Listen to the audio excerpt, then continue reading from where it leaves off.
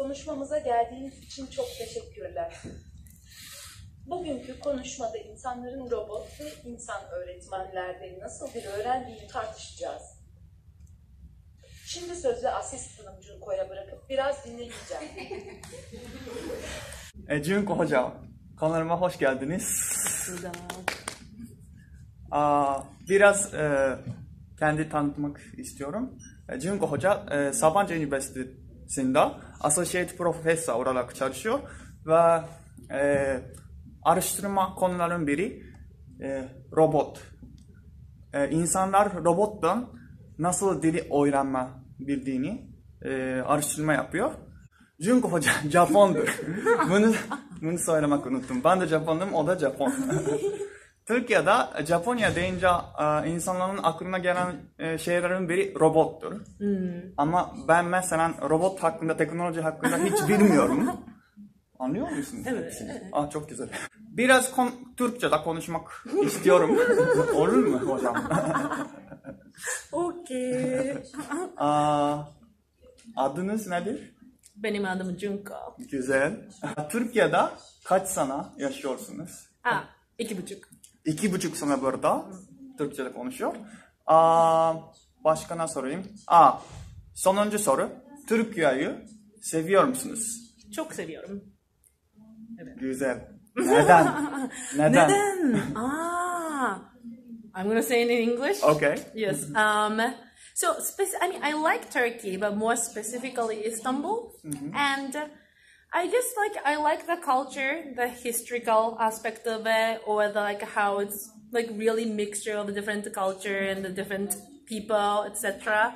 And it's just I see Istanbul as a very unique place. I cannot find anywhere else. I lived in many many places, and I just think like it's really unique, interesting, and exciting. Anladım. Aa, siz Amerika'da da uzun zaman yaşadınız ve Türkiye'de iki buçuk sene. Sizce İstanbul daha iyi mi Amerika'dan? Ah, I mean, depends on which aspect you look at, but I am having more fun here, at least, yes. Çok güzel. Türkçem anlıyorsunuz. Beğendim. Tarihiden, kültürden bahsettiniz ama Türk yemeği seviyor musunuz? Yemek. Ah, evet, çok seviyorum. Hangi yemeği seviyorsunuz? Ah, mantı. Mantı. Aa, evet. O midye dolma. Ha midye dolma. Ben de çok seviyorum. ha, robot hakkında da biraz sormak istiyorum. Ee, onun adı var mı? Ah, deniz. Deniz. Türk adı koydunuz. Ee, bu robot Japonya'dan mı geldi yoksa başka ülkeden mi geldi? Ah, Fransa'dan. Fransa'dan. Aa, Japon robot değilmiş. Ee, Siz robot hakkında araştırma yapıyorum deyince insanlar nasıl tepki veriyor size? A lot of people say that, oh yeah, because you are Japanese. Yeah.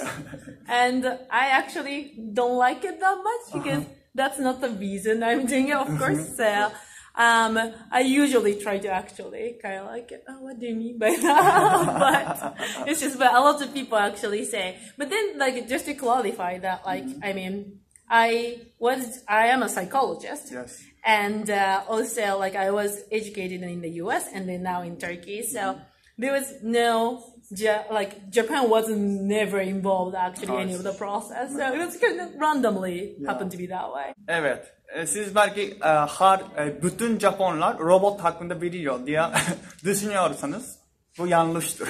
Ben hiç bilmiyorum. Teşekkür ederim. You can do that, or robot wants to point to real object, like saying, "Oh, this is a glass." It can do the tip. That's a kind of function you cannot find in any other devices we know.